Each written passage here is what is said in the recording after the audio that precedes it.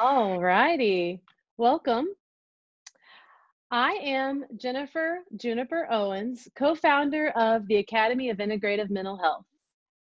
We provide high quality trainings, workshops, consultation, and resources to increase professional skills and knowledge for mental health professionals utilizing a holistic approach. Today, I am thrilled to be having a conversation with Reverend Diane Walker.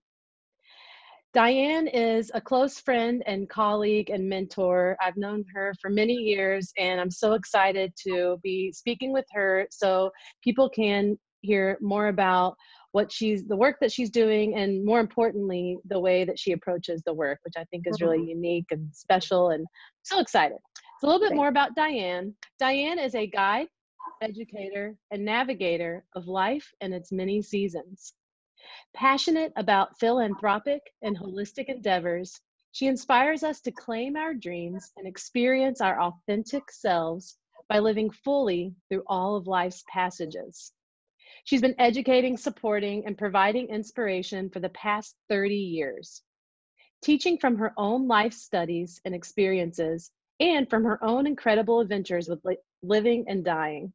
Diane, thank you for being here. Welcome.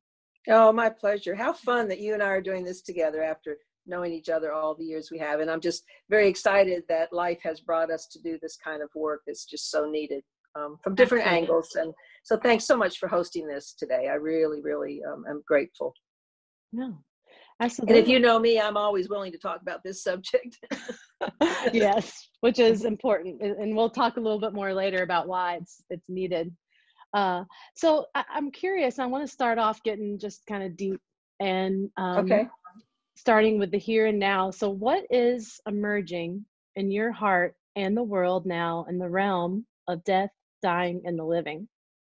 Yes, that's a, a, a big question and a, a big perspective. Uh, thanks for that. Um, well, what's touching me the most right now is that we are witnessing across the world, and of course in our country, the breaking down of old systems and paradigms that maybe served us at one time but no longer do. And in fact, they're now doing more damage to our lives and our livelihoods and our health and everything. And the funeral business and the, and the arena of death is no different than that. Um, so that's the first thing is that uh, I've been working on this for over 16 years, knowing that, that we needed a change in our death practices and our awareness of death. Um, but now it's being called for more than ever for us to be really true and real to ourselves and begin to take responsibility for what we're doing in life, period. And death is part of that. Um, also, uh, with the virus and all the things that are going on, we're uh, in our healthcare systems and so forth, we're going to see more and more deaths. And right now, people are experiencing even more challenging times with this period of life because of the situation. They can't do things as normal. There's a tremendous fear of the virus laid on top of the fear of death. And, um, and then we can't do our normal practices of getting together and nurturing each other and being with each other in the normal celebration way of life. So we've got an extra challenge in this arena. But my philosophy is that everything can, is possible if you um, get creative and get real about things. Um, and then uh, just to finish off with that, the ecological effect that our funeral practices and death practices are doing are just, they're not tolerable anymore. Mother Nature cannot handle any more pollutants and things that go into the earth that are not biodegradable. So uh, it's widespread. Hmm. Yeah, I mean, yes, and I really want to get into some of the ecological effects uh, yes. later in the interview or the conversation, excuse me. And uh, but I'm curious. You said that you mentioned the breaking down of systems and paradigms, and that's definitely right. something that's been on my mind, especially with mental health um, care delivery uh, during mm-hmm. this time. And you mentioned that the we're really um, the system's being exposed for some of its fragility and maybe unsustainability. And so I'm curious about um, what the system and the paradigm is around death now, and how has this affected our death practices? Well, um, the biggest thing is we don't talk about it. Really, I mean, we don't talk about it until we're faced with it. You know, you most people will go get a will done. Not most. A lot of people don't even do that, but they'll get the paperwork done, and then they think that's the end of that so, um, you know, that's one aspect of it. Um, also, just like many of our um, supplies, have been industrialized, industrialized. And when that happened with death, it became a money making effort. And we began to put artificial things into the earth and formaldehyde and all kinds of chemicals and things that are absolutely damaging to us and they're getting out of control. And so that is also an aspect that we've got to come up with some new ways. And we'll talk later about some green ways that we can deal with this most natural process of life. Um, and then I also go to this tremendous amount of grief that we carry in our lives. People in general do not deal with their feelings and get them stuffed in areas that end up making them sick or come out sideways. And it's no different in the uh, arena of grief and death and loss and how we move through that really in a very unnatural way. We, we anticipate people to get over it quickly, get back to work, get productive. You're doing too much. There's opinions about what grief looks like, and it's not really the facts about it. So there's many different angles we could come into about how this is affecting the arena of death. And uh, the more fully we face death and know that at any moment this could be our last, we truly do begin to live differently, mm. um, more fully alive. If you really get it that you might die, your decision making is different. If this was my last day today, how would I want it to be? How would I speak? What would I want to be doing? And what's important and what's not important. Mm. So, um, as you can tell, the subject of death is very, very complex. It's multifaceted, and there's so many different arenas that you have to deal with. Uh, so it, it can get overwhelming. That's why it's wonderful to have someone who's very familiar with it and has a different perspective of navigating through this uh, most natural passage and to deal with the fear because the fear causes so much uh, problems in our lives, period. Yeah. So I, I, that gave you a lot to chew on. I know. I'm so excited. You hit on like so many hot, hot topic points that I wanted to cover. Um, so let's start. Let's start with the first one that you just said, and I think okay. this will especially help um, mental health professionals and people in my field is talking because that's what we do.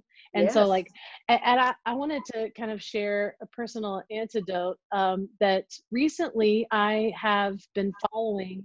Might I say, apprenticing to a deer carcass and yes. in a city park. Um, and I came across it when it was about it's pretty fresh and i spent probably four or five months following the decay process and at first it was like oh. super scary i wanted to i went in to yeah. touch it and i was just petrified yes but then yeah. after some time i started to have not only a comfort and a um, familiarity, but also like an appreciation for this process. It was quite beautiful. And what it highlighted for me is this fear that I'd harbored from being around dead bodies, yes, beings.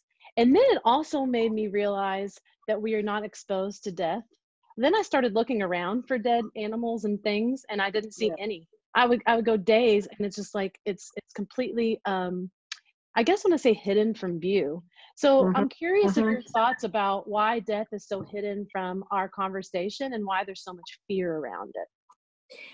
That's an awesome question, and thank you so much for that journey you went on. Um, that is amazing that you took that on yourself to, to you were being called to face death, mm-hmm. and you began to get more relaxed with it the more that you were around it and understand it. And you actually got to a place where you appreciated it as an amazing process. So well done. That's what I love about your work so much is that you go out into nature and nature teaches us so much. I think, um, you know, as I spoke about the industrialization, once before industrialization, before the Civil War, we took care of our dying as a family. We cared for the sick. We cared for them through their into and through their deaths. We usually took care of their bodies and then buried them in the backyard in a family a cemetery and so we were very hands on and we were it was very much a part of accepted part of life. Then with the bringing in of embalming which happened at the civil war which was for a great reason which was to get the soldiers home from the battlefield so that the families could do their home funerals. They set up embalming shacks in order to uh, accommodate that and then get the soldiers home. Well it was a wonderful idea and system at the time and now it's turned into a multi-million dollar industry and we have come to just turn over our dying to the authorities, to the professionals, and pay to have it done in a system that is developed by them. Now, it doesn't mean that they're not doing good work. Many of them are. And unfortunately, a lot of it, just like our health uh, and our food and everything else, is being driven by bottom line and money and not what's healthy and good for us. So that is definitely, um, you know, part of it that we we're afraid because we've removed ourselves from nature so much in this industrialization and becoming um, more in buildings and things that you know if we were out in nature we would see it just like you and we would observe it and we'd be able to look at death squarely in the face and see my gosh what an amazing process and system that was set up for us to truly be dust to dust you know mm. to return to the earth naturally and feed the next generation literally and in the case of a human we feed the next generation with our ideas our life message our uh, you know who we were the love that we are. That is what we feed the next generation with. So for me it's just this amazing cycle of life but we've been removed from nature. And how we even speak about i've got to go out to get into nature. Well i am nature. I'm right here in nature right here. But we see it as something separate that we have to go out and spend some time in you know which in the civilized situation we do have to go seek it out to be in the quiet um, and the beauty of it but it's all around us. Mm. so i heard you mention and i really enjoyed that historical perspective. I actually had never heard of how embalming started and it makes sense now. Because at first i'm thinking why in the world? But now that makes total sense. But uh, it's it's interesting that you included that separation from nature and and that and nature being our bodies too. So our own body process we're separated from. And so i'm curious of your thoughts about uh, unless you had something else to add about that. Well i don't want to interrupt your thought but um, i wanted to tell you how i came to realize that in research um, about the history. And if that's okay I, I helped my mother with her end of life. And i did everything natural at home and had a home funeral Mm. And we can talk more about that if you want to. But because of that experience, I now knew something different than what we were told is what we're supposed to do. And a friend of mine's father died a few days after my mother's cremation. And um, I went to the funeral home, and when I went over, when I walked in, first of all, it felt so foreign to me after what I had done with my mother, because I had cared for her myself. I cleaned her body. I did a home funeral. I stayed present with her through the whole thing. And what's then to go to a funeral and see that drastic contrast, what happened inside of me was what in the world happened to cause us to go from that to this? And I started doing research because I wanted to find out. And if you and then when I found out about the Civil War, it made complete sense. And the point I'd like to make beyond this is so many of our customs and rituals and rules and regulations served a great purpose at the time but they're no longer useful. And that's why it's so important to explore that. And if something doesn't feel right for you, I really encourage people explore what the possibilities are, explore why we came to this, so maybe we could change it up and do something differently. I hope that didn't divert from your questioning, but I thought that was important. And that's exactly what made me go look, is that it felt weird. It didn't mm-hmm. feel right. Once I had a natural mm-hmm. experience, this felt really weird, and it cost a whole lot of money and my mother's cost hardly anything and it was beautiful and natural and wonderful and, and such a celebration of her life so um, that contrast is what made me go to work it really yeah. did i love hearing that and and knowing that it took seeing the the other another yes. way to realize yes. that this way um, also doesn't feel right to the body it doesn't make sense to you and i love that right. invitation that you gave of like um, check in with yourself. What does this feel right? Does it feel yep. like does this make sense? Does it um, resonate? And I, I, love that invitation. I think we'll talk about that a little more as we talk about um, the planning process. But I, I, I do want to touch just for a moment because this this happens to be a, a, a hot topic of, amongst sure. my clients in therapy, um, and then also yep. even my social work students and other people that I've worked with is just this fear of death this right and it's not just any old fear it it drives so much behavior it right. motivates um almost ways of life, phobias, etc. And so Mm-hmm. I'd really like to get your perspective on this fear of death, but then also more importantly, how do you approach that in, in the work that you do with either the the people that are dying or the family members or the public that you're educating? Hmm, another very good and deep question. Um, fear, isn't that something? How we can be driven by fear, and um, and so many times you've heard it's the opposite of love. It's also the opposite of life, really. Um, I personally feel like we all need to face fully our fears and our emotions, and so that is the beginning. Um, that to acknowledge that that's in there and to call it forth to explore with it. What is it that you're afraid of? And go into it. And many times we find out that the fear is really in the mind, it's not really in the object that we're fearing. Hmm. So if we were around death all the time, we would not be fearful of it in the same way that we are because it's such an unknown here. There's so much mystery, and you know, and Hollywood has also played up a lot with um, making people afraid of death because it's sensationalism. Um, so for me, first and foremost, is to admit that you are afraid. Many times we cover it up. The beautiful thing about working with death and fear is that if you start working with fear and say, well, what's the worst that can happen? What's the worst that can happen? What's, you know, and start to peel it away to get at what's really going on. Many times at the bottom of it is, I'm afraid I'm going to die. Mm. And you remember, like, if you have a breakup with someone and they're just everything to you and you feel like you're going to die because they stopped wanting to be with you, it's a death.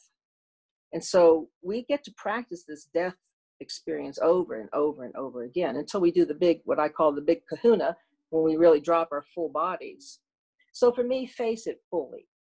Invite the fear in and take a good look at it. Put some light on it and see what it's here to, you know, what was, how, how is it serving you? And how is it not serving you?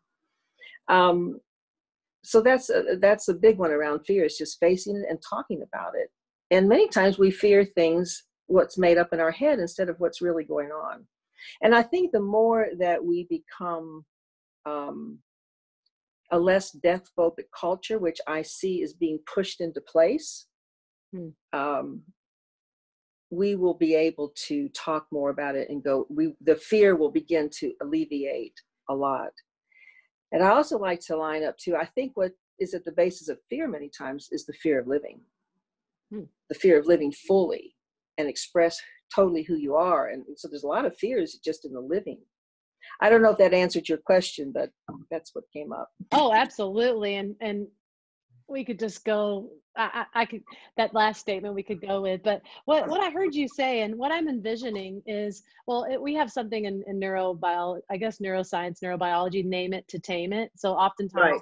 i work with people and like Yes. exactly what you said the more you talk about it the it just becomes less big and i think that that gives me a sense a beginning sense of what working with you would be like i'm Mhm. hearing it's dialogue you offer Yeah. space for someone to talk about that fear and i have to say that my guess is for most people they don't feel comfortable chatting with their friend at a coffee shop about Right. fears and so in that I'm so I'm starting to get a picture of what it would look like. Can you talk a little bit more about what working with you would look like? And uh, also, do you have like a specific title? For example, I've heard I've heard of the term death doula and um, different things like that. So um, I just want to get a sense of what your what it would be like to work with you in the dying process. Well, okay. it can look anyway. uh, you're, you're, you're a great interviewer. I love it. It's like deep, wonderful thinking and exp- exploration. Um, first of all, um, how I work with people is that I'm just very present. That's the number one thing you can do for anything in life is to be present. And that will help your fear as well, because when we stay in the present moment, we're not fearful of the future, you know, and resentful of the past. We're very present. So I'm just very present with people. So if somebody wanted to talk with me about living more fully in their lives or the specifics of navigating the actual death of themselves or someone else, I simply meet with them in a space that's safe and comfortable to talk. I find out what is going on. I ask a lot of questions so I can get the picture of what's happening. And then usually, um, you know, we go to what is bothering you the most? What can we address first that's the most scary for you? Um, and then we go from there. Most of my work is intuitive. I mean i have a tremendous amount of experience. I've worked in every aspect of death that you can imagine. I had a calling to do this. When you have a calling you just don't stop. It doesn't matter if it's an income or not an income or if it's successful or not successful it doesn't matter because if you change if you help one person have a better experience it's worth it and i know you know that because i think you have a calling to do the work that you're doing especially with with the earth and nature um, so you know for me that's how i work and then i have inspirations i have resources uh, um, and then we'll just build from there. So I, have done my work like that always. When I was an event planner, uh, when I had catering business, I always went in to find out what do you want, and officiating ceremonies now, and let's help create that together as a mm. team. So I become a partner, a, a pilot, co-pilot kind of uh, uh, relationship in dealing with this. So I I work with people that are wanting to talk about death as much as people want to have a fullness of life because for me it's the same thing. If you avoid death, you're avoiding life. It's really that simple. And if you don't want to avoid life, start you know facing that. One other thing that came up about emotion and fear and i'm sure this plays into you know a therapist working with someone uh, with their feelings. There's a there's a statistic that, that when you have an emotion come up it's a, a physiological thing that happens in your body. And within 30 to 45 seconds the feeling usually shifts.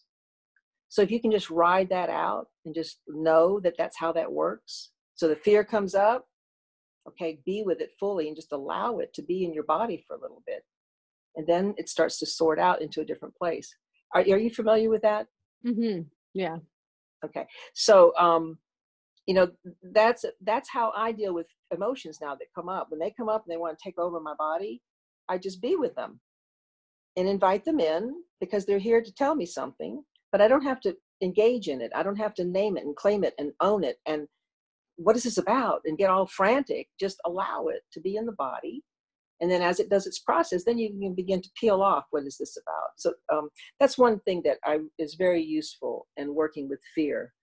Um, and begin to get around death. Just like you you went over a boundary for yourself to go and sit with a dead carcass. You had some fears about it but you went ahead and faced it and walked through it. And you found it to be quite different than what your fears said so just doing things like that, where you begin to get closer to death, go work on a farm, uh, do some research about different cultures and how they deal with death, and see their ceremonies and rituals. Um, you know, it's endless what you can do to start breaking this open.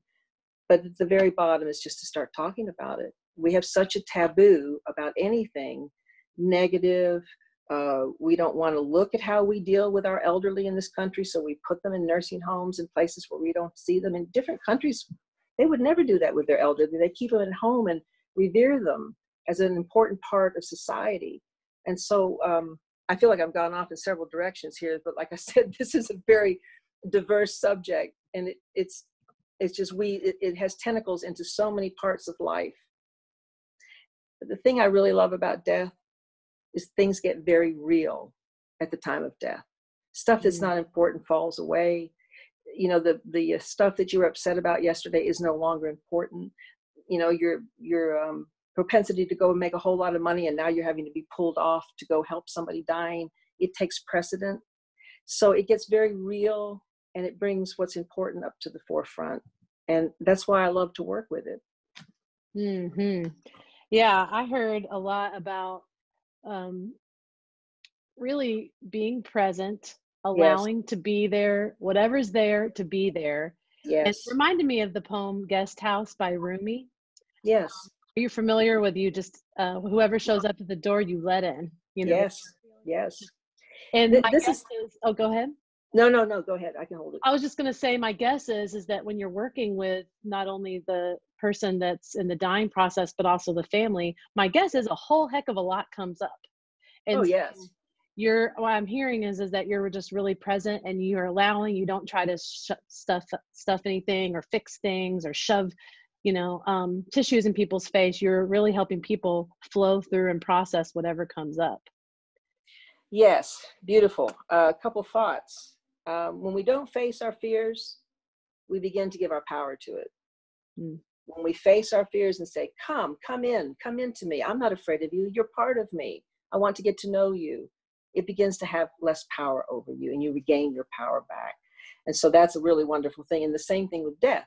The more that you approach death and face it and take responsibility for it and plan it as well as you would a good vacation, really put some intention around all the aspects of death, not just getting your paperwork done. Um, that is really good. You mentioned about how things come up with the family and so forth. Yes. At the time, like I said, at the time of death, things get very real. So, whatever the dynamic in the family is and has been, it will come to the surface. Some families are very, very compatible. They make decisions together. There's not a lot of back and forth, and they're all on the same page. I have to say those are rare, but I have witnessed them, and it's an amazing process to have that kind of a family at the time of death. But generally, you have a lot of personalities involved and different uh, wounds and all kinds of things that um, you know come up during that time and start to steal energy from the person you're supposed to be there is the one dying to support and love them. Mm-hmm. So I mm-hmm. really encourage the family, if they can just see it from a little different perspective, that this is a huge opportunity for wonderful healing and to face fears and to resolve things. If you can use this death process as a way to transform things, you don't get an opportunity like that very many places. You do in, re- in committed relationship that comes up a lot, but death really affects the whole family and the community. So uh, if, if we can just shift and start seeing it as not just something we have to deal with and we'd really rather not and let's give it away to somebody else and let's just pay for it and let's not look at it. You say, no, this is part of life. Let's come to it fully and see what we can do to resolve these things. So when I'm working with a family, I get caught in the middle sometimes of um, what I know is best for the patient that's dying and the, maybe the person who hired me is not the whole family so i'm only dealing with one person who may be very into what i'm doing but there's a whole family that it doesn't want any part of it they wanted to keep tradition and do it the way that they've always done it so i have to be incredibly like open space and be willing for all of it to be there and then to discern what's important to bring up and what is better just to let them work through themselves most of my focus is going to be on how to care for the person who's dying because that is the most important thing. And once they're gone, you don't have this opportunity anymore. And I personally think you can do it in spirit, but most people, it's the end for them if mm-hmm. they don't know how to do that in spirit. So this is an opportunity you don't want to miss. And if there's things that you've done and you you've regretted with this person, don't create more that you're going to regret. Take ownership for it, and and then bring it into a healing process so that everybody involved can feel better about this change. It's a huge change when somebody dies, huge change for everybody. It'll never be the same again since they died. Um, all right, I'm going to throw it back to your questions. Absolutely. Yeah. I'm like, I kind of actually want to stay a little bit with, um, and then we can go back into some. Sure, no worries. Oriented. But you said that embracing death helps you to live more fully and authentically. And yes. I really would like, I would love to know how embracing death for you and actually being immersed in it has helped you live more fully and authentically? Oh gosh, so many ways. One, I'm more present. I'm much more present to be in the moment because I get a lot of practice with that with death. Uh, so that is one way. Um,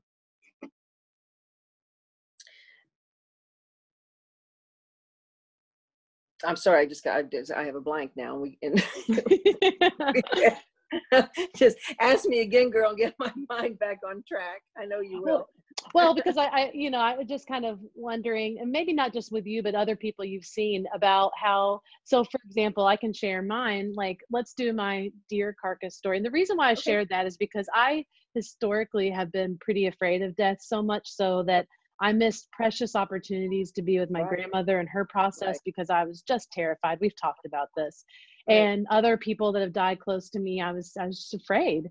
And I feel so in this process, what I've noticed about living more fully and authentically in now the now time, and you mentioned presence. What's helped me is is that having just a little less fear walking around. Mm-hmm. Um, I I know I'm open to more emotional emotional responses and I don't know if that means you're living more fully. It is to me because I want to feel and be open. I want my heart to be wide open to it all. And I think that um, by facing that and feeling all the emotions that came through with it, I now have space for that. And I can walk in the world with this like bigger, and I guess my container just got a little bigger to hold Yep. all that. Yep. And that's exciting to me. And it, Yep. um, when you say be more present, I'm, I'm curious, like, does it, do you do anything differently? Like during the day, like that you did. I, I think it's hard for you because you've been immersed in this so long. You might not know exactly how it's ch- changed your life. So I'm curious if you've seen any other examples because I, I think that's important to hit on is how it affects the living and authentic living. Oh yes, it's a. It, this is such a big subject, and it takes. It, it, I go out when as you're talking, I can feel myself going. So many things I want to talk about. So to, to zero in, um, face facing death has made me more appreciative of every moment that I have. Hmm. So I'm less likely to waste time on things. Like I have a perspective now. So when there's a, a backdrop of death leading my life, then each day it's like my decisions are made is like i said i ask those questions uh, is that how i want to live i also as i'm going because i've experienced death and I, well i see that i see clearly a distinction between me this body and who i am as an essence or a presence and when you're around death as much as i have been you get to see that that's not a belief system that we truly are something more than this physical body. And that in itself begins to shift how you are in this life because I'm so much more than this. And so you kind of put that into a, a proper perspective place. Um, when I when I have a loss in my life now, like uh, I lost my home recently, and uh, I had to go through that horrible feeling of loss and grief. And because I work with death, I immediately come back to do I want to miss a moment of my life being upset about something I can't change? Or do I want to get back to living? That backdrop of death gives that to me. And I might be very sad about something, but I'm not going to miss a moment of life while I'm f- dealing with those feelings. I'm going to continue to be very present to life. And I still don't think I'm answering your question. Oh, you sure a- if I'm that you actually Okay. answered it beautifully. okay, those good. two- good. Those Something's two, working beyond. oh yeah, those those were like beautiful kind of like jewels of you said the backdrop of death, and I think that is um, encompassing of how in the backdrop your life appears, right? So you know how like you see the wall behind me. If that's Right. there and here's my life have taking place, I just think that's beautiful. And that you you can navigate loss in a different way and grief. yes. Yes. It's it's um that's it's kind of inspiring. Well, in fact, you get to practice death. If you really look, I mean, everything's about having your perspective. So if you just open your perspective to a different place, then things begin to get, you get to expand and you get more eh, perspective. So, um, you know, having that as a perspective in life changes how you live. It just does. And you see how, you know, we walk around, especially when we're younger, but we take it, I mean, you know, I'm an older woman and I still act like I'm invincible we act like it's never going to come that no it happens to somebody else and then when it does happen to us or someone we're completely overwhelmed because we weren't prepared for it we weren't even looking for it and for me every time i have a loss whether it's a loss of a relationship or work like right now all my work has been pulled away as i know it and i'm having to recreate myself because of a change um, i really do it gracefully now because of my work with death it's like it's another change i'm bigger than this I'm just going to maneuver with it. You know, we just have to learn how to navigate through this part. And it's a part that's been neglected. We haven't talked about it. So of course we're frightened of it. Of course we're confused. Of course we're overwhelmed. That's what we're doing is we're trying to build a new paradigm around this. You remember 30 years ago, you didn't hear about birth doulas. You heard, you know, I mean, you, I mean, you didn't hear about uh, midwives, and it was really strange, and people didn't like it, and all of that. Now it's starting to become mainstream. 30 years later. And I see the same thing's probably going to happen with death if we have the good fortune of still being here on this planet in 30 years. Um, Oh, you mentioned about a doula too. Um, it is actually a certification that you can get now that is a midwife at the end of life. And I see hmm. birth and death as the same thing. It's just birth at the other end of life. And it's an experience I had. It's not in here. It is an experience that I have that it, we truly do birth out of our bodies into something else, and our energy goes there. So I, for whatever reason, um, am a, I'm a natural death doula. I never took any training. When my, I mean, when my mother passed, it was all intuitively inspired in the moment, and we created things that nobody knew could be done. And it's because I questioned a lot. When I feel like something wasn't right or I wanted to do it differently, I asked and I asked again and I asked again because that's how you create change. And generally, you can find out it, it wasn't anything that was going to break the law. It was perfectly fine. It just wasn't, people weren't used to doing it and they weren't used to being asked to do that. Like me, I keep my mother's body at home and take care of it myself. That's a pretty wild question to ask mm-hmm. um, when it's not a normal practice. So um, I'll throw the ball back to you. Oh yes, thank you. Well, actually, you you you really um, transitioned beautifully into um, the practices, and so this and you and you mentioned a new paradigm, and something that I wanted to just very quickly, briefly touch on because this is going to um, the practices I think are um, coupled with the ceremony, right? And um, you mentioned like navigating through life transition and it's really hard when we don't have necessarily guides elders right. and right. we don't have rites of passage or ceremonies or rituals that we all right. that we at least i don't in my culture um, a specific except for a funeral at a funeral home and a burial and so I, that's the the ceremonial ritual around death that i'm familiar with and you mentioned new paradigm so i'm curious what that new paradigm is looking like and if we could specifically mention what the green funeral industry mm-hmm. is. Mm-hmm. oh yeah, yeah, great question. Um, uh, as far as what the new paradigm looks like, first of all, it's not a taboo anymore. We accept it as part of life and we begin to mm-hmm. talk about it and we begin to face it fully. That's the first part. Then to move toward what's the most natural and healthy way for us to deal with this. And that's when we'll move into the green cemeteries in a moment and green funerals. Um, hands on to me is holistic. Hmm. It's inter- it's the integrative part of all of us. So to be hands on as much as possible by talking about it, by being around the person. This is the new paradigm that we as families and communities are going to take back our responsibility and quit turning it over to professionals and charge us a ton of money and injure the earth and we don't get what we really need or want. We're just doing what we've been told is supposed to happen. So in that it's just you know talk about it and then come back home to family and community. You're going to still need your coroners you're still going to need some of those professionals, but they're not driving the ship, you are. And you're securing their services as you want and choose, not because you don't think there's any other way to do it or that you're breaking the law. That's the worst part. People think they're breaking the law if they do anything around death, it's different. And I did all kinds of things and found out I was never breaking the law. So uh, that will be the new paradigm. Then we want to also be conscious about what are we doing to the earth? Because and I don't have my statistics anymore because I I haven't given a presentation on this in a while. But the funeral practices, what they do to our earth, and you mentioned in a letter you that email you sent me about wooden, you know, thick wood wooden caskets. I wish they were wooden.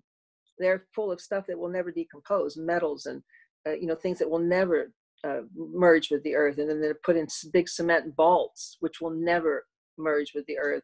You know, who, who knows if it will ever.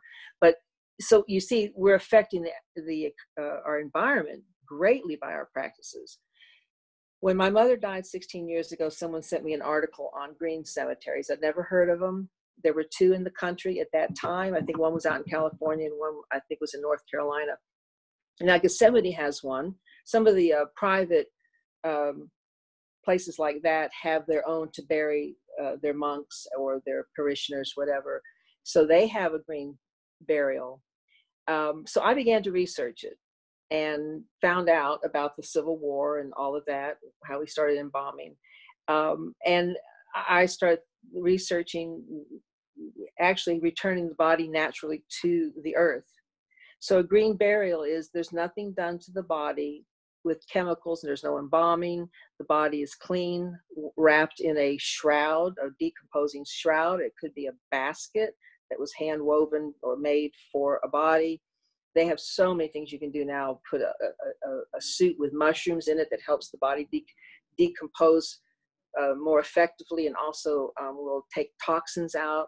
There's so many things you can do now that is different than what we've been told. And you can do it a lot less expensive. Um, cremation is still one of the best things we've got going in, this state because we now have about 25 green cemeteries across the country.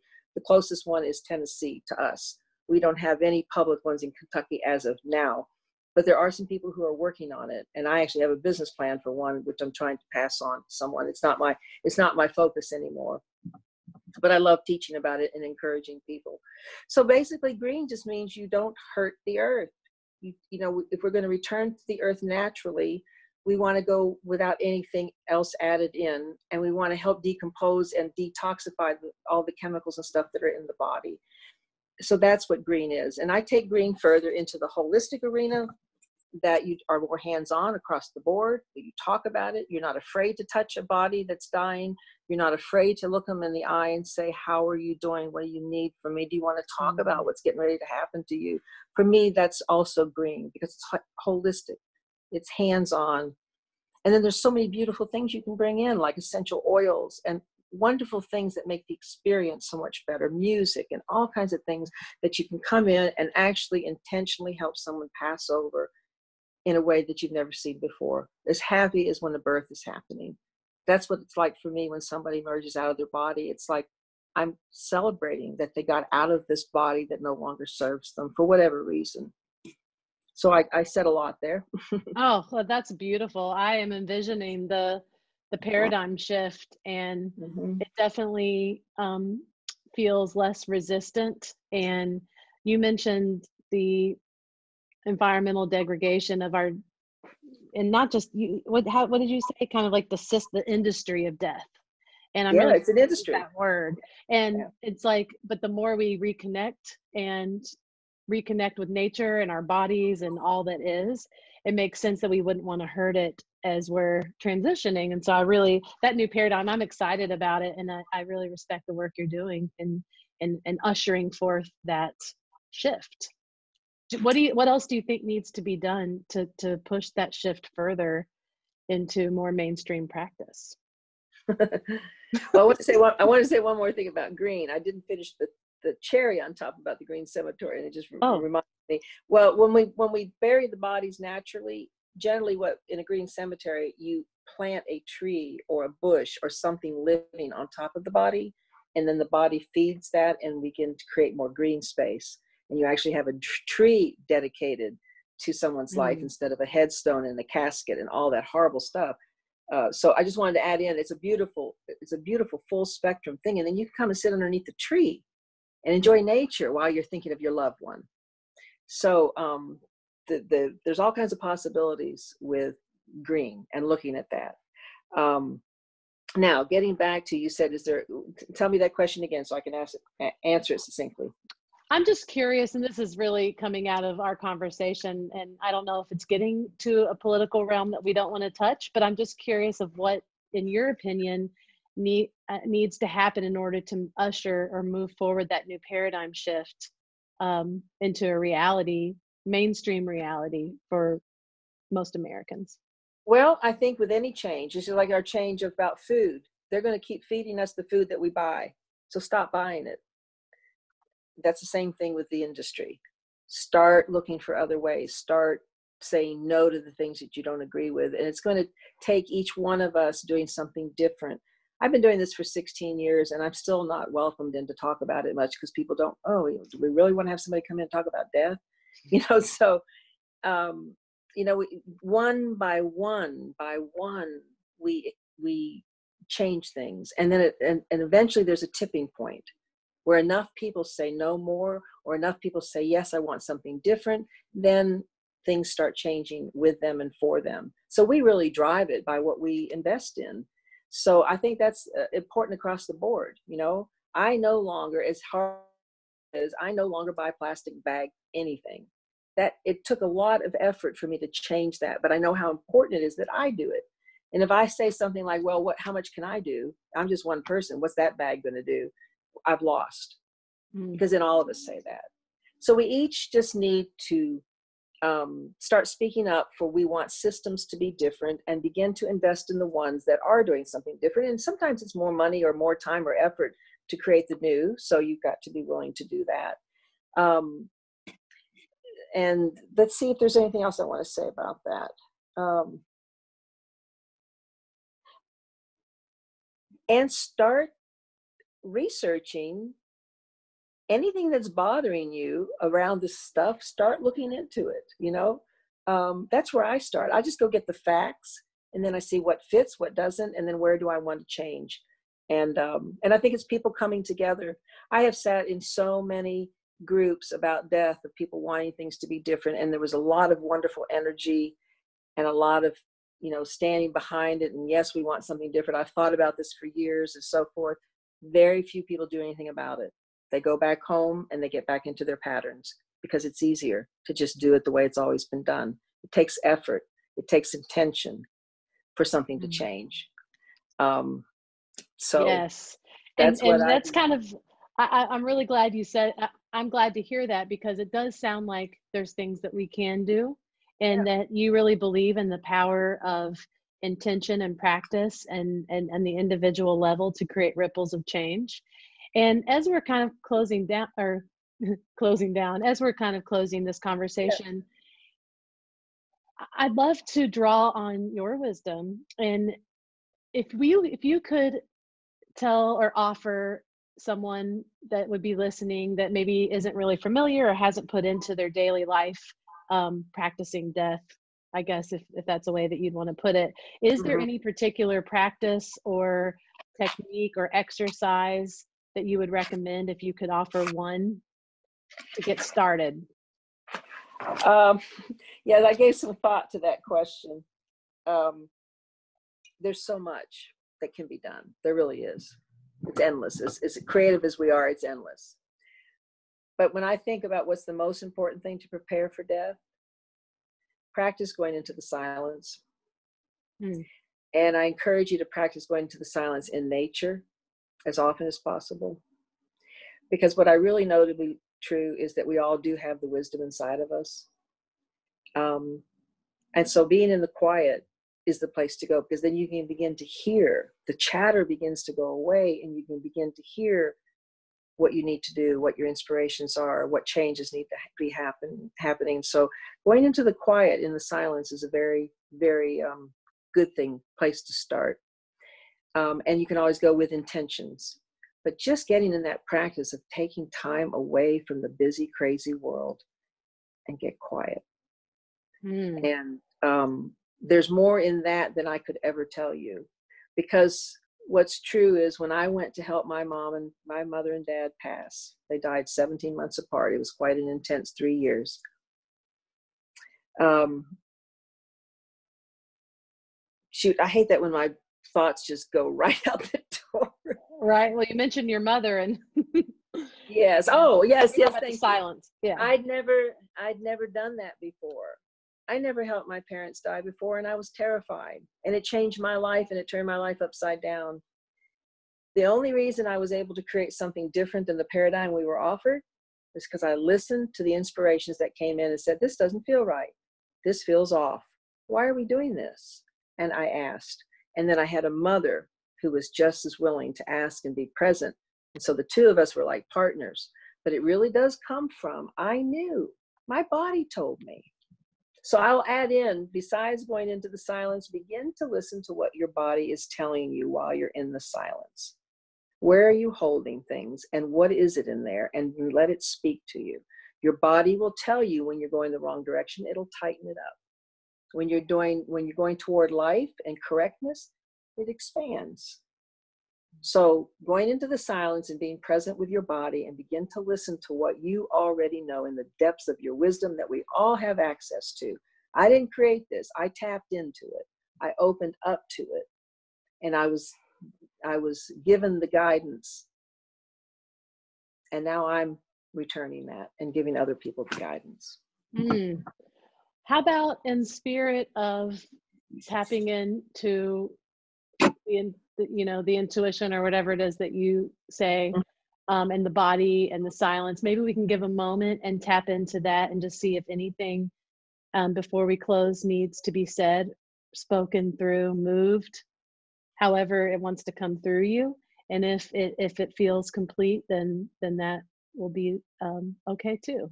So I just want to give you a moment to to put that into practice and to see if anything else needs to be witnessed, heard around this conversation today.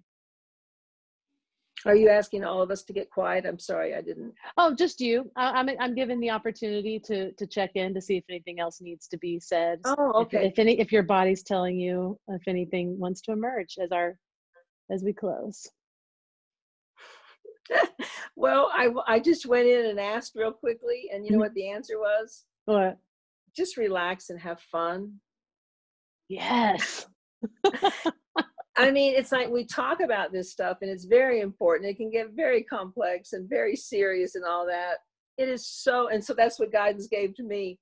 I could just feel when you asked that question, I went in, I could feel the tension right here, just not a lot, but just, and it just kind of melted off of me. And then I heard relax and have fun. Just relax this has all been orchestrated. This is such a beautiful, natural process that has been orchestrated by something very intelligent, whether you call it the, the divine, nature, whatever you want to call it. There's some beautiful, beautiful process here that has been designed exquisitely. And for us to miss that because we're afraid of it and we haven't taken the time or had the opportunity to look, death can be one of the most exquisite processes you've ever witnessed just to see how amazing the process is. We were made to come from the earth and to return to the earth naturally. And I'm always just awed by it and um, not afraid of it. I welcome it when it's time. And I can sit by any dying bedside and be calm. I go into a state of calm and I can't explain why, but I do. Mm-hmm. So that's what I'll leave you with. oh, Well, um, I, I was moved by that that that sentiment, and I'm I'm every time we talk about death dying anytime anytime we talk specifically about this topic each time i come away with something um, a new shift a new perspective and it's just so important that these conversations are mm-hmm. being had and um, i'd like for you to the opportunity to share any of your contact information or anything you'd like to share uh, about your work, your social, whatever it is you want to share, and then I'll have. Okay. okay. Well, as the world is changing, so is my work changing very fast. You know, um, because what I do with End of Life is truly I'm a guide and a coach, and I can be used in any way that's needed. From the full, you know, have me on board full spectrum, you know, full spectrum to just a consultation to help you through something. I'm available for any or all of that.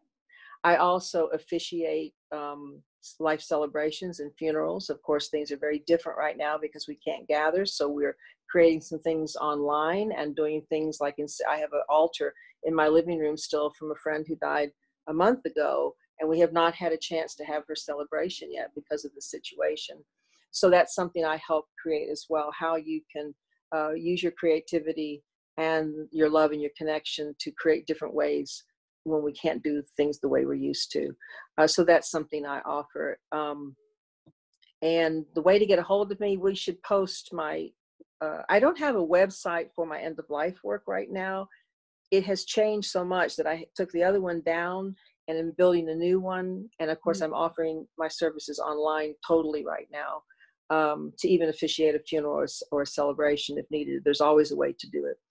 So um, best thing I can do is uh, maybe on this link I will put my um, my contact information. It's Diane Absolutely. Walker at mm-hmm. lifecycles11 gmail.com. But I will also uh, connect you uh, with. Uh, I have a flyer for the work that I'm offering now, consultations and helping people through tumultuous times, and how we can come together when we can't do it as normal, um, and help people guide them through the systems. I'll give a little side note my friend who died was 92 and she was in a nursing home for the last three years and had surgery so she went to the hospital she never really got back on her feet from that and was in hospice care within three weeks.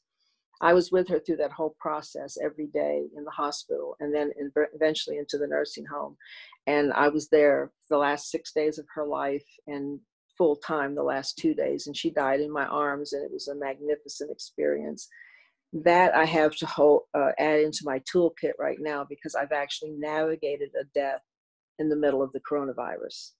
And I've I navigate the systems pretty well anyway because I know the hospital systems and the funeral business and all that. But I have actually done it now in this circumstance. Uh, I'm a former event planner, and that's a skill that I use every day, and especially mm-hmm. in this work. So I get very creative. I wish you could see the altar I have for my friend. I still put flowers there. I still come and sit with her and talk with her, and um, you know anybody can do that in any way that feel they feel moved. So there's just so much that I can offer. Um, I also give talks. I should don't forget that. Yes. I'm not thinking of that so much because everything's online, but I give talks at universities and colleges and hospitals. And in fact, I came in and uh, taught a few of your classes uh, at the University of Louisville on dying, which was just a wonderful experience. Those two years I did it. So I'm, you know, welcome to speak. I design for whatever, I'll wrap it up with this way. Whatever you need, I will design for you what you need and tell you whether I can help you or not. So, mm.